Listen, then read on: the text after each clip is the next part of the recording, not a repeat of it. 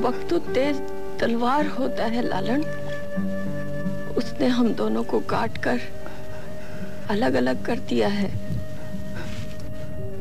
अब तू किसे ढूंढता है? नाजरीन, पाकिस्तान टेलीविज़न पर बड़ी बड़ी हसीनों, जमील अदाकाराओं को शोहरत मिली है, मगर जो देरपा, इज़्ज़त और मुकाम रूही बानो को मिला, वो अपनी मिसाल आप है। रूही बानो का शुमार उन अदाकाराओं में होता है, जो पीटीवी के आगाज़ से ही स्क्रीन पर नज़र आई। वो दुबली पतली, लंबे कद और तेज नैन नकुश के साथ लाखों दिलों की धड़कन थी। रूही बानो के बारे में कहा जाता है की वो एक अहद का नाम है। वो अदाकारी की अकेडमी थी। अमूमी तौर पर फीमेल अदाकाराएँ महज शोख और चंचल मिजाज से अवाम में मकबूल होती है। लेकिन रूही बानो न सिर्फ़ हुसन पर दस्त तरस रखती थी, बल्कि उनकी अदाकारी बाकमाल तौर पर नेचुरल थी। उनकी आवाज़ और एक्सप्रेशन में नाकाबले बयान रबत था। रूही बानो हर प्रोड्यूसर के लिए अव्वलीन तरजीह हुआ करती थी, मगर रूही बानो के पास इतना वक्त ही न होता था कि वो सबके साथ काम कर सके। इसलिए प्रोड्यूसर्स को कई कई महीने इंतज़ार करना पड़ता था। रूही बानो ने एक तारीखी उरूज देखा। दौलत, पैसा और ज़िंदगी की आसाइशें हासिल की, वो पाकिस्तान की सबसे कामयाब अदाकारा कहलाई जाती थी। मगर अफसोस के रूही बानो उम्र के आखिरी सालों में एक अजियतनाक किस्मत का शिकार हुई। उनकी एक ऐसी प्यारी चीज़ खो गई जिसने उन्हें जहनी तौर पर मफलूज कर दिया। वो महल जैसे घर को छोड़कर सड़कों पर सोई हुई मिलती। उनकी जमा पूंजी सब लुट गई और नौबत फाको तक आ पहुँची। और ऐसे भी हुआ कि उन्हें बासी खाना खाना पड़ा। वो गहरे नायाब, वो रोशन सितारा जिसके घर के बाहर लोगों का जमे खफीर रहता, ताकि रूही बानो की एक झलक देख सके, वो एक खंडर बन गया। रूही बानो की कहानी सुनकर रूह काँप जाती है और बस यही दुआ निकलती है कि कोई ऐसी किस्मत का शिकार ना हो। आज की इस वीडियो में हम आपको रूही बानो के आखिरी वक्त के बारे में बताएंगे और ये भी कि वो इस हाल तक कैसे पहुंची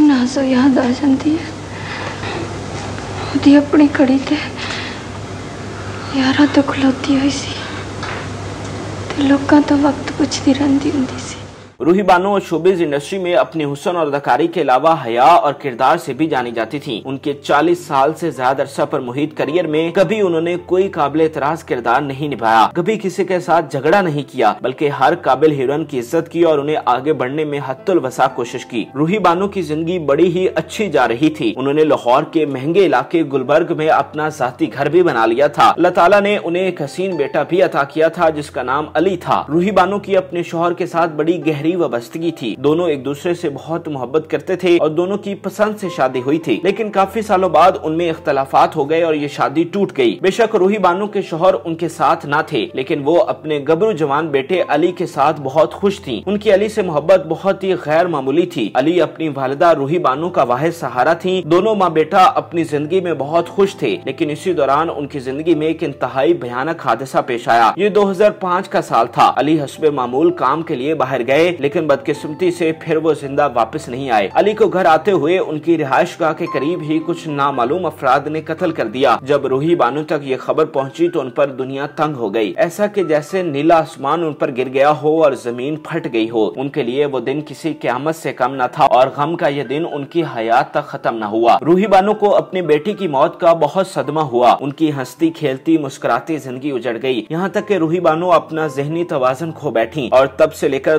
2019 में उनकी मौत तक उन्होंने जो दर्द सहा वो नाकाबले बयान है, रूही बानो जहनी तौर पर माजूर हो चुकी थी, मगर कोई उनका सहारा न था। शोबिज इंडस्ट्री के लोग जो कैमरे पर आकर तो उनकी तारीफों के पुल बाँध देते थे, हकीकत में उनसे पीछा छुड़ाने लगे। उनके लिए वो हज़ारों का मजमा तो क्या एक शख्स भी ऐसा न था जो उनका ख्याल रख सके। यहाँ तक के अपनों ने भी मुँह मोड़ लिया और पाकिस्तान की सबसे बड़ी अदाकारा बिहारों मददगार रह गई रूही बानो इतने बड़े घर में अकेली रहती थी और इस तनहाई ने उन्हें अंदर ही अंदर से खत्म कर दिया था। उनका घर खंडर बनने लगा। वो रूही बानो, जिसने पूरी दुनिया फिरी और तरह तरह के लजीज खाने खाए, अब फाके काटने लगी और जब खाना मिलता तो वो भी बासी। वो गलियों में बुरी हालत में इस तरह फिरती थी कि लोग उन्हें भिखारी समझते थे। मेरा खड़ा गुम हो गया है। मेरी आवाज़ गुम हो गई है।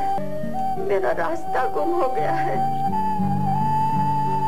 ठाकुर, मेरा बेटा गुम हो गया है। सितम जरीफ मीडिया शोबिस के साथी और दूसरे नाम निहाद हमदर्द महज तस्वीरें बनवाने के लिए कभी कभार उनको खाना खिलाते, कभी उनको शॉपिंग करवाते, मगर ये सब कैमरों तक ही महदूद रहा, क्योंकि रूही बानो की ज़िंदगी इसी तरह अजियत में गुजरती रही। रूही बानो को माली इमदाद की कोई ज़रूरत न थी। उन्होंने ज़िंदगी में बहुत पैसा कमाया, उन्हें ज़रूरत थी तो एक गम गुसार की जो उन्हें सहारा दे सके। लेकिन बेहिस मुआशरा और सितम जरीफ गाफिल हुकूमत उन्हें सहारा तो क्या देती, उन्हें तकालीफ ही देती रही। एक दफ़ा रूही बानो के घर डकैती हुई और 10 लाख की नकदी चोरी हो गई। ये उनकी आखिरी कमाई थी जो लुट गई और कोई उसका जिम्मेदार न था। रूही बानो पर उनका घर बेचने के लिए कई बासर अफराद ने प्रेशर डाला और जब उन्होंने इनकार किया तो 2015 में उन्हें मारने की कोशिश भी की गई।